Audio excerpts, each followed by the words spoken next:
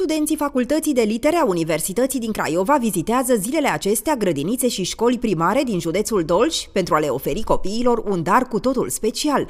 Este un dar care nu se poate cumpăra din magazine, nu se poate comanda nici pe internet, nu are versiuni mai vechi sau mai noi, nu are o culoare sau o mărime aparte și are greutate doar spirituală.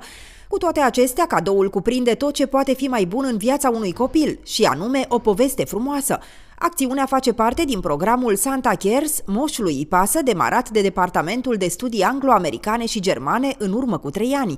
Pe lângă școlile și grădinițele din Craiova, echipele Santa Cares au vizitat școala profesională Constantin Argetoianu din comuna Argetoaia și școala gimnazială din satul Braloștița.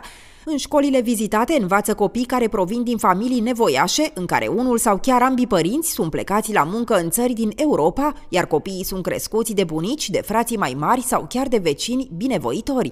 Sunt copii cărora nimeni nu le citește o poveste înainte de culcare, care o duc greu, singurul loc unde sunt tratați cu bunătate fiind școala. Ce faceți copii? Bine! Cum vă simțiți astăzi? Bine! Bine! Vă vă place când primiți cadouri? Da!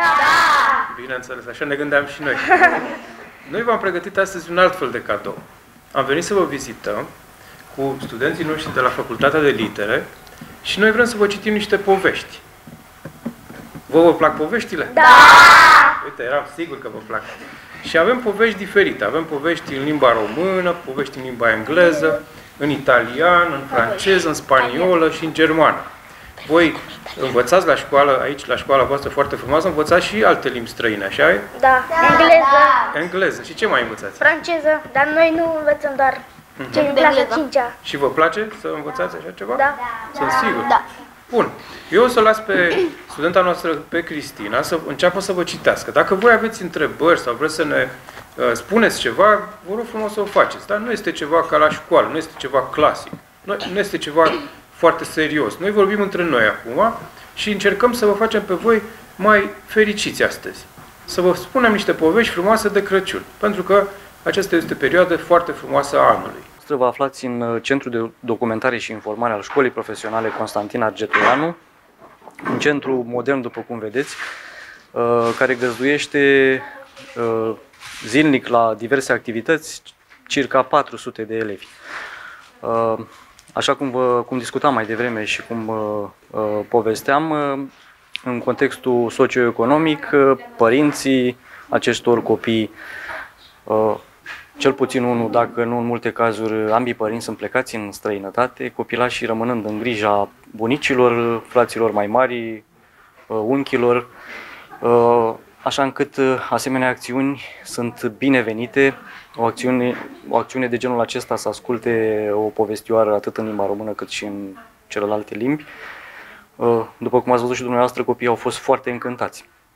În altă ordine de idei, noi am, am îmbrățișat și Uh, participarea ca și parteneri sau beneficiari în diverse programe europene, unde copilașii noștri primesc masă caldă, fac temele, primesc diverse, uh, de la rechizite până la excursii, tabere, Echipați în spiritul Crăciunului, dar mai ales cu istorioare de sezon, studenții filologi, însoțiți de un cadru didactic, le-au citit micuților povești în limbile română, engleză, franceză, germană, italiană și spaniolă.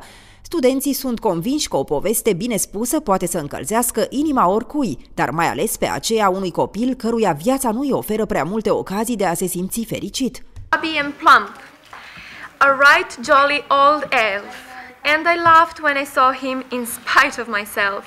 A wink of his eye and a twist on his head soon gave me to know I had nothing to dread. Numele meu este Mitrache Iulia Maria, sunt de la Facultatea de Litere, secția Română-Engleză anul 2 și astăzi am făcut o activitate cu copiii aici. Le-am citit povești, poezii în engleză, în română, ne-am simțit toți foarte bine, am râs, am făcut un spectacol de păpuși și cred că copiii s-au simțit extraordinar. Diaconul Denis, sunt student al Facultății de Litere din Craiova la secția română-engleză. Astăzi am încercat să introducem pe copii în lumea poveștilor. S-au adaptat foarte bine la activitatea pe care noi le-am propus-o, au interacționat cu noi, ne-am jucat cu păpușelele și au fost foarte atenți și au înțeles mesajul din spatele poveștii. De la lansarea campaniei, în urmă cu trei ani, Santa Cares a vizitat peste 30 de școli și grădinițe, implicând aproape 100 de cadre didactice și studenți și va continua anul acesta până în data de 20 decembrie.